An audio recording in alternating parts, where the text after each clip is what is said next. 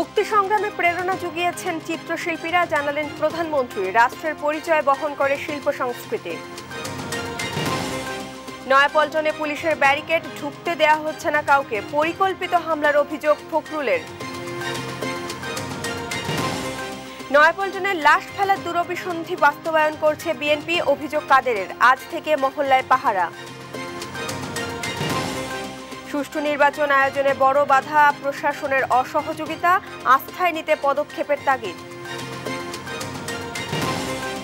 দুর্নীতির আখড়া Gulshan sub registry. কর্মচারীদের কাছে অসহায় গ্রাহক বেড়েই চলেছে ভোগান্তি। খাদ্য সংকটের মাঝে কুষ্টিয়ায় গম উৎপাদন নিয়েই শঙ্কা, বাড়তি দামেও মিলছে না বীজ, হতাশ কৃষক। এবং ইউক্রেন যুদ্ধ আরও দীর্ঘায়িত হওয়া সতর্কবার্তা পুতিনের বাড়ছে পারমাণবিক অস্ত্র ব্যবহারের ঝুঁকি।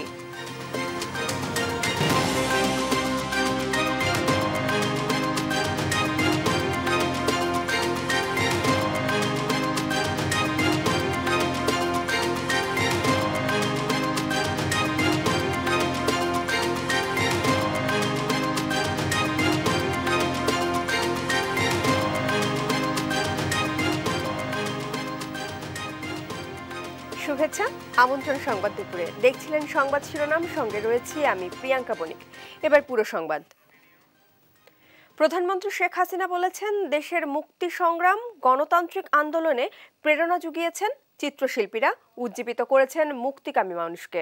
শিল্পকলা একাডেমিতে উনিশতম দ্বিবার্ষিক এশীয় চারুকলা প্রদর্শনীর উদ্বোধনকালে তিনি বলেন, শিল্প একটি জাতির আত্মপরিচয় বহন করে। তিনি জানান, এদেশের প্রতিটি আন্দোলন সংগ্রামে শিল্পীদের বিশেষ ভূমিকা রয়েছে। গণভবন থেকে ভার্চুয়ালি যুক্ত হয়ে প্রধানমন্ত্রী বলেন, পঁচাত্তরের পর সামরিক শাসনের বিরুদ্ধে সব গণতান্ত্রিক আন্দোলনে সক্রিয় থেকেছেন শিল্পীরা। তাদের তুলির আঁচড়েই ফুটে উঠে স্বৈরশাসকদের অপশাসন। এশিয়ার সবচেয়ে বড় এই চারুকলা প্রদর্শনী বিভিন্ন দেশের সংস্কৃতির সঙ্গে দেশীয় শিল্পীদের পরিচয় ঘটাবে বলে আশা প্রকাশ করেন প্রধানমন্ত্রী। একশো চোদ্দটি দেশের চারশো তিরানব্বই জন শিল্পীর কাজ নিয়ে প্রদর্শনীটি চলবে আগামী সাত জানুয়ারি পর্যন্ত। একটি শিল্প সংস্কৃতি একটি যে কোনো জাতির আত্মপরিচয় বহন করে। সেই যুদ্ধ চলাকালীন সময় আমাদের দেশের উপর যারা গণহত্যা চালিয়েছে নারী ধর্ষণ করেছে, অগ্নিসংযোগ করেছে, লুটপাট করেছে, দেশটাকে একেবারে ধ্বংসস্তূপে পরিণত করে করে যাচ্ছে। সেই যুদ্ধকালীন সময়েও আমাদের শিল্পীরা বসে থাকেননি। তখনও শিল্পী কামরুল হাসানের আঁকা পোস্টার এই সব জানোয়ারদের হত্যা করতে হবে। সেটাও আমাদের মুক্তিযোদ্ধাদের প্রেরণা জুগিয়েছিল, মুক্তিগামী মানুষকে দিয়েছিল নতুনভাবে প্রেরণা যাতে দেশ দ্রুত স্বাধীনতা অর্জন করে। নয়াপল্টনে বিএনপি কার্যালয় পুরোপুরি ঘিরে রেখেছে পুলিশ। সেখানে কাউকেই ঢুকতে দেওয়া হচ্ছে না। সকাল থেকে বিপুল পরিমাণ পুলিশ মোতায়েন করা হয় সেখানে। নাশকতার মামলায় ঢাকা সিএমএম আদালতে হাজিরা দেওয়ার পর নয়াপল্টনে যান বিএনপি মহাসচিব মির্জা ফখরুল ইসলাম আলমগীর। এ সময় দলের কার্যালয়ে ঢুকতে চাইলে পুলিশের বাধার মুখে পড়েন তিনি। নয়াপল্টনকে ক্রাইম সিন হিসেবে বিবেচনা করা হচ্ছে উল্লেখ করে তদন্ত শেষ না হওয়া পর্যন্ত বিএনপি কার্যালয়ে কাউকেই ঢুকতে দেওয়া হবে না বলে জানিয়েছে ডিএমপি। আর মির্জা ফখরুলের অভিযোগ দশ ডিসেম্বরের সমাবেশ পণ্ড করতে পরিকল্পিতভাবেই হামলা চালিয়েছে পুলিশ।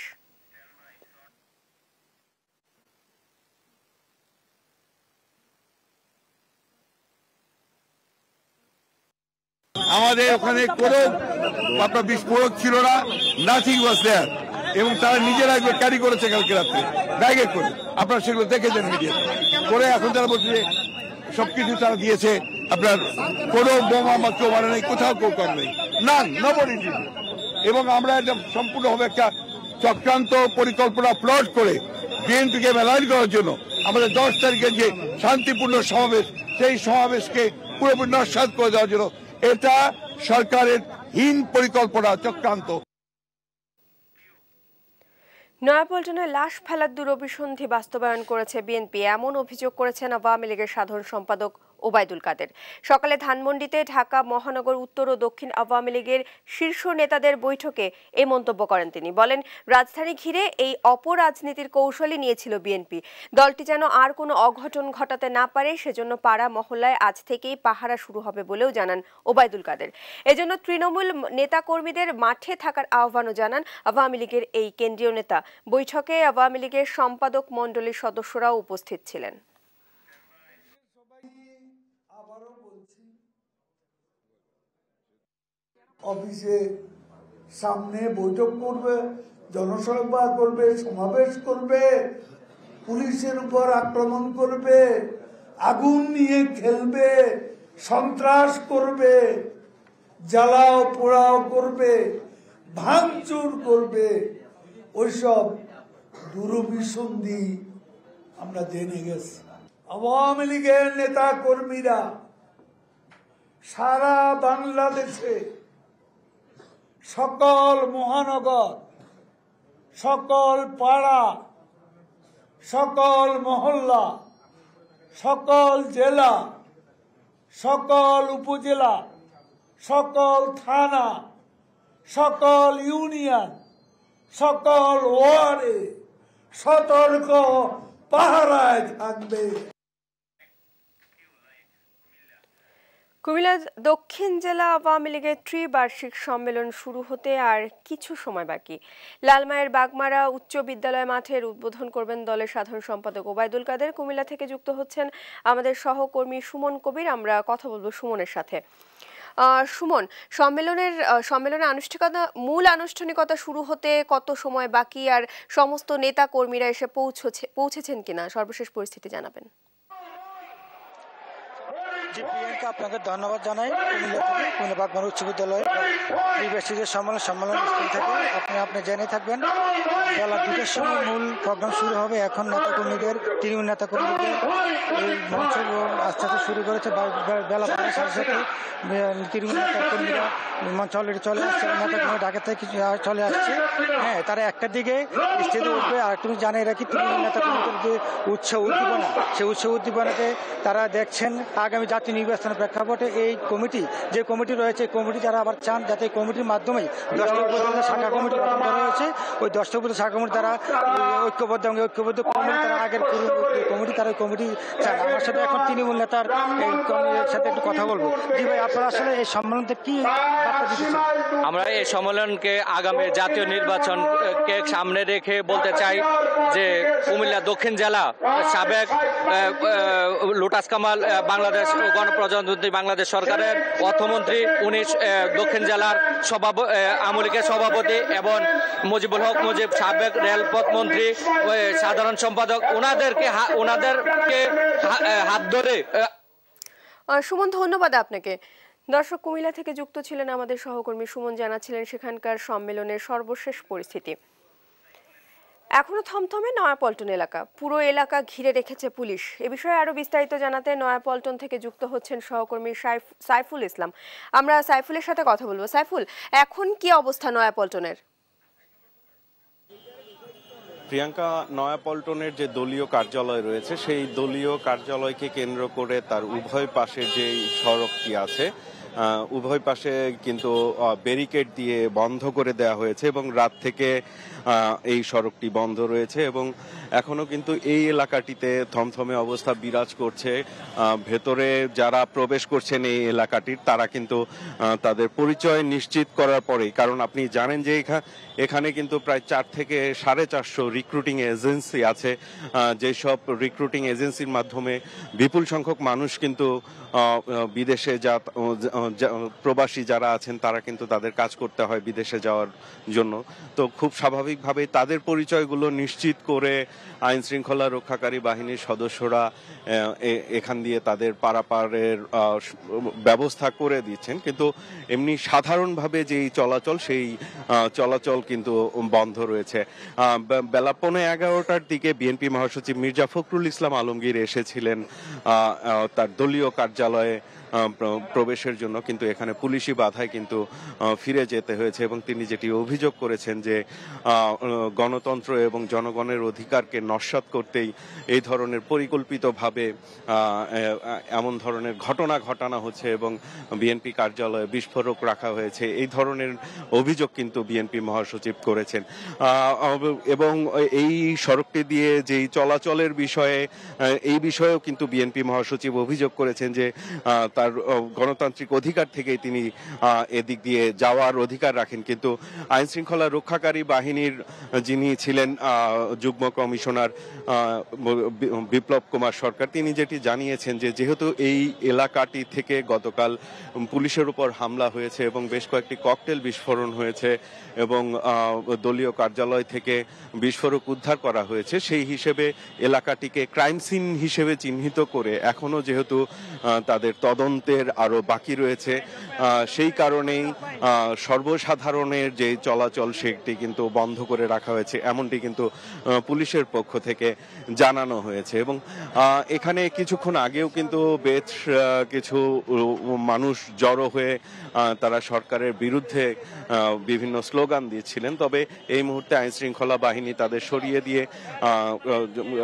তাদের পরিস্থিতি যথেষ্ট নিয়ন্ত্রণে রয়েছে এবং আইন শৃঙ্খলা বাহিনী এখানে সতর্ক অবস্থানে রয়েছেন পাশাপাশি সংবাদকর্মীরাও এখানে আছেন এবং বিএনপি মহাসচিব মির্জা ফখরুল ইসলাম আলমগীর কিন্তু বিকেল তিনটার দিকে গুলশানের কার্যালয়ে কিন্তু সংবাদ সম্মেলন ডেকেছেন এবং পরবর্তীতে তাদের দলের পক্ষ থেকে যে সিদ্ধান্ত, সেই সিদ্ধান্তর বিষয়টি হয়তো তাদের কাছ থেকে সেখান থেকে জানা যাবে। তো এই মুহূর্তে কিন্তু এই নয়াপল্টন এলাকার যেই বিজয়নগর মোড় প্রান্ত এবং সেদিকে ফকিরাপুর প্রান্ত দুই পাশে ব্যারিকেড দিয়ে যেই সর্বসাধারণের যে চলাচল, সেই চলাচলটি নিয়ন্ত্রিত রাখা হয়েছে। এই ছিল আমার কাছে এখানকার সর্বশেষ পরিস্থিতি, প্রিয়াঙ্কা। সাইফুল, ধন্যবাদ আপনাকে। দর্শক, নয়াপল্টন এরিয়া থেকে যুক্ত ছিলেন আমাদের সহকর্মী সাইফুল ইসলাম, জানাচ্ছিলেন সেখানকার বর্তমান পরিস্থিতি। নির্বাচনের মাঝপথে মাঠ প্রশাসন নির্দেশ না মানলে ভোট বন্ধ করা ছাড়া আর কিছুই করার নেই কমিশনের। সাবেক দুই প্রধান নির্বাচন কমিশনার বলছেন, বর্তমান বাস্তবতায় প্রশাসন সহযোগিতা না করলে কমিশনের একার পক্ষে সুষ্ঠু নির্বাচন করা সম্ভব নয়। এজন্য মাঠ প্রশাসন ও আইন শৃঙ্খলা বাহিনীকে আস্থায় নিতে প্রয়োজনীয় পদক্ষেপের তাগিদ সাবেক দুই সিসির। প্লাবন রহমানের রিপোর্টে বিস্তারিত। জাল ভোট, ব্যালট বাক্স চুরি, ভোট কেন্দ্রে অনিয়ম বিশৃঙ্খলা। একজনের ভোট আরেকজন দিয়ে দেয়া। এসবই দশকের পর দশক বাংলাদেশের নির্বাচনের গতানুগতিক ধারা। গত অক্টোবরে গাইবান্ধার ভোট সিসিটিভি ক্যামেরায় পর্যবেক্ষণ করে ব্যাপক অনিয়ম দেখতে পায় নির্বাচন কমিশন। কিন্তু রিটার্নিং অফিসার, প্রিজাইডিং অফিসার সহ নির্বাচন সংশ্লিষ্ট কেউ কোনো অভিযোগ জানায়নি কমিশনকে, এমনকি এদেরকে ফোন করেও সহযোগিতা পায়নি কমিশন। আইন ভঙ্গ করে, প্রবেশ করে ভোট দিয়ে দিতে আমরা সচক্ষে দেখেছি। এ অবস্থায় হাতে থাকা সবশেষ অস্ত্র ব্যবহার করে নির্বাচন বন্ধ করে দেয় কমিশন। শেষমেশ তদন্ত সাপেক্ষে রিটার্নিং কর্মকর্তা অতিরিক্ত জেলা প্রশাসক সহ একশো তেত্রিশ জনের বিরুদ্ধে শাস্তিমূলক ব্যবস্থা নিয়েছে কমিশন। চাকুরি থেকে দু মাসের জন্য সাময়িক বরখাস্ত করার সিদ্ধান্ত গ্রহণ করা হলো। এমন বাস্তবতায় সুষ্ঠু ও গ্রহণযোগ্য ভোট উঠিয়ে আনতে সরকার ও প্রশাসনের সদিচ্ছা সহযোগিতা সবচেয়ে জরুরি বলে মনে করেন সাবেক দুই সিইসি। সরকারি কর্মকর্তা দিয়ে নিউট্রাল ইলেকশন করানো অসম্ভব। ইলেকশন কমিশনের অল্টারনেটিভ নাই। কারণ দশ লক্ষ লোক জোগাড় করতে তাকে এদেরকে নিতে হবে। না এটা কঠিন সহজ না। কারণ হলো যে এখনও যে যে প্রশাসনের কর্মকর্তা, বিশেষ করে ম্যাজিস্ট্রেট, ম্যাজিস্ট্রেসি, ডিস্ট্রিক্ট ম্যাজিস্ট্রেট এবং পুলিশ, তারা সেভাবে নিরপেক্ষভাবে ভূমিকা পালন তো করল না এবারে। এটা যদি কন্টিনিউ করে তাহলে সম্ভব না। ভোটে যাদের উপর পুরোপুরি নির্ভরশীল কমিশন, সেই পুলিশ ও প্রশাসনের কর্তা ডিসিএসপিদেরকে গত অক্টোবরে ঢাকায় ডেকেছিল নির্বাচন কমিশন, যেখানে ডিসিও এসপিদের প্রবল আপত্তিতে নিজের বক্তব্য বন্ধ করতে বাধ্য হন একজন নির্বাচন কমিশনার। যদিও এটিকে ভুল বোঝাবুঝি বলে চালিয়ে দিয়েছে নির্বাচন কমিশন। জেলা প্রশাসন এবং পুলিশ প্রশাসনের সংশ্লিষ্টতা অত্যন্ত নিবিড়। নির্বাচন বিশ্লেষকদের মতে ভোটের সময় প্রশাসন ও পুলিশকে সত্যিকার অর্থে নির্বাচন কমিশনের নিয়ন্ত্রণে থাকতে হবে। তাই ডিসিএসপিদের সঙ্গে সম্পর্ক উন্নয়নে কমিশনকেই উদ্যোগী হওয়ার পরামর্শ। না না সর্বোচ্চ শাস্তি মানে তার ডিপার্টমেন্টাল থেকে তাকে নিয়ে তাকে প্রসিডিং করে তার সার্ভিস বুকে রেড কালির মার্ক দিয়ে দেওয়া কম তো না। ইলেকশন কমিশনের কমিশনারদের এলাকা এলাকায় যেতে হবে তাদের নিয়ে মইট পরিহার করতে হবে। ডিভিশন ভিত্তিক যদি সম্ভব হয় ডিস্ট্রিক্ট ভিত্তিক এভাবে তাদেরকে কাছে নিতে হবে। আস্থার একটা জায়গা সৃষ্টি করতে হবে। তাদেরকে যে ঠিক মতো বোঝানো যায়, তাদেরকে ওইভাবে করা যায়, এই ডিসি এসপিদেরকে তারাও তো দেশের নাগরিক। হ্যাঁ করাট হয়েছে। তারা টাকা খায়। এটা ওপেন সিক্রেট কিন্তু তাদেরকে আমার মনে হয় যে তোমরা যদি ঠিক মতো বলতে পারো বোঝাতে পারো, তাহলে বোধহয় ঘোরাইতে পারবা। সেটা না করলে তা পরবর্তীতে কঠিন হবে। সুষ্ঠু ও নিরপেক্ষ নির্বাচনের জন্য কমিশনকে অনেক ক্ষমতা দিয়েছে সংবিধান ও আইন কিন্তু ভোটের পরিবেশ অনেকটা নির্ভর করে প্রশাসন ও পুলিশের উপর ইসির ক্ষমতার প্রয়োগ করেন তারাই তাই গাইবান্ধার মতো ভোট এড়াতে এখনই সম্পর্ক উন্নয়নের তাগিদ তাদের। প্লাবন রহমান দেশ টিভি ঢাকা। দুর্নীতি আর অনিয়মের আখড়ায় পরিণত হয়েছে গুলশান সাব রেজিস্ট্রার ভবন। ঘুষ আদায়ই যেন নিয়ম সেখানে। মজুরি ভিত্তিক কর্মচারীদের কাছেই অসহায় গ্রাহকরা।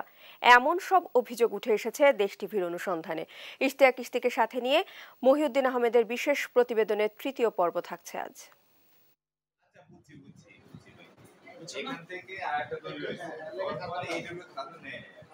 এই চিত্র গুলশান সাব রেজিস্ট্রার অফিসের। উমেদার নিজেই দলিলে স্বাক্ষর করছেন। পর মুহূর্তে আবার এজলাসে দাঁড়িয়ে নিচ্ছেন টাকা। শুধু এই উমেদারেই থেমে নেই এই অফিসের অনিয়ম। গুলশান সাব রেজিস্ট্রার অফিসের নজরুল ও টিপু মুন্সি।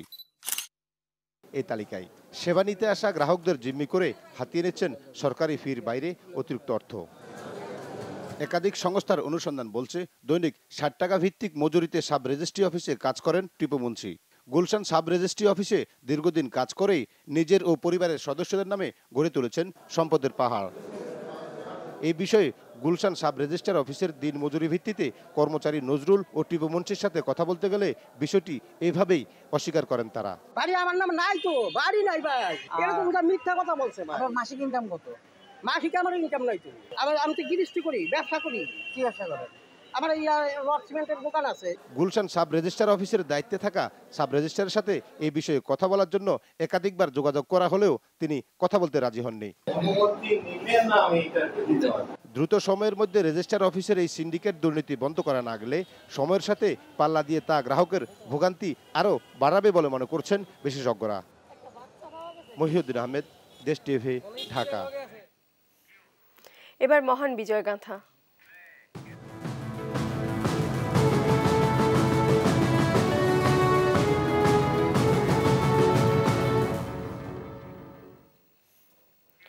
আজ আট ডিসেম্বর। দক্ষিণের জেলা বরিশাল, পিরোজপুর এবং মধ্য পূর্বাঞ্চলের কুমিল্লা ও ব্রাহ্মণবাড়িয়া মুক্ত দিবস। উনিশশো একাত্তর সালের এই দিনে পাকিস্তানি হানাদার বাহিনীর কবল থেকে এই চার জেলা মুক্ত হয়। জয় বাংলা স্লোগানে মুখরিত করেন জাতির শ্রেষ্ঠ সন্তানরা। সেদিন বিকেল চারটায় কুমিল্লা টাউন হল মাঠে তৎকালীন পূর্বাঞ্চলের প্রশাসনিক কাউন্সিলের চেয়ারম্যান জহুর আহমেদ চৌধুরী, দলীয় পতাকা ও অ্যাডভোকেট আহমেদ আলী স্বাধীন বাংলাদেশের জাতীয় পতাকা উত্তোলন করেন। মুক্ত দিবস উপলক্ষে নানা কর্মসূচি পালন করছে বিভিন্ন সংগঠন।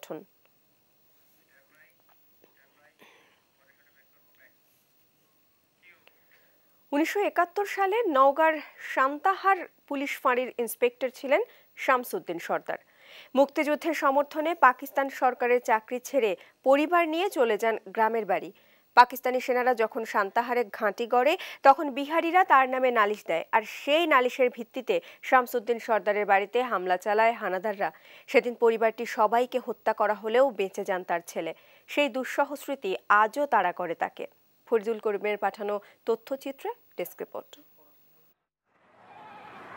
জরাজীর্ণ এ বাড়িটি সাক্ষী হয়ে রয়েছে স্বাধীনতা যুদ্ধের।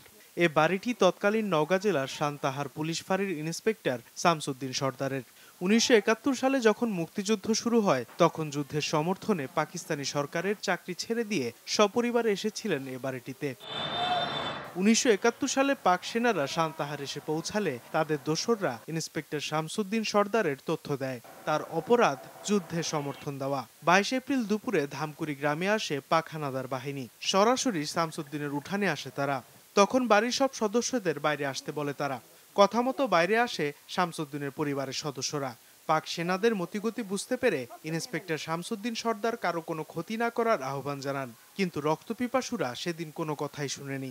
একের পর এক বুলেট ছুঁড়ে হত্যা করে পরিবারের সব পুরুষদের। সৌভাগ্যক্রমে সেদিন গুলিবিদ্ধ হয়েও বেঁচে যান তার এক ছেলে। আমার বাবা অনেক লম্বা চওড়া মানুষ ছিল। উনি বলে যে, আমাকে মেরেছেন আমার আর ভাই ভাতিজাদেরকে মেরেন না। কিন্তু তারা কোনো কথা না শুনে পাকিস্তানি আর্মিরা লাইনে দাঁড়ানো সবাইকে গুলি করে মারে। আমি তখন ছোট, আমিও ছিলাম ওই লাইনে, আমার হাতে গুলি লাগে, আমি ওইখানে পড়ে সেন্সলেস হয়ে যাই। সেদিন নৃশংস হত্যাযজ্ঞের সাক্ষী হয়ে রয়েছে শহীদ শামসুদ্দিনের পরিবারের নারী ও প্রতিবেশীরা। খালি একটা ভাই কি কপালের জুড়ে বাসিছে অতগুলাটির মধ্যে বাপের কোথাও তলে পড়ে থাকাম। বিজ্ঞানা ছেলের এত বুদ্ধি কি সুন্দর থাকে তেবে গিয়ে বাসিছে না তো বাঁচত না বাবা। পরিবারের সবাইকে লাইন করার পর বেশ কিছুক্ষণ পরেই ওরা গুলি করে মেরে দিল সবাইকে। তাহলে এই চ্যাংড়াটার হাতে গুলি লাগার পরে তখন এই চ্যাংড়া আর পুরা গেলেন উনি। দাফন লোকেরা বাইরের লোকেরা করছে। ওরা তো আমরা তো সবাই সুলাগান্ত ভয়ে। সেদিন পাক সেনারা নারকীয় হত্যাযজ্ঞ চালানোর পর ধামকুড়ি গ্রাম ছেড়ে গেলেও দুদিন পরে ছিল শামসুদ্দিন সহ আটজনের লাশ। পরে তাদের অর্ধগলিত মরদেহ নিয়ে দেওয়া হয় গণকবর। এরপর থেকে নওগাঁ জেলার প্রথম শহীদ পুলিশ সদস্য হিসেবে শহীদ ইন্সপেক্টর শামসুদ্দিন সর্দারের নাম আসে। News desk, Desh TV.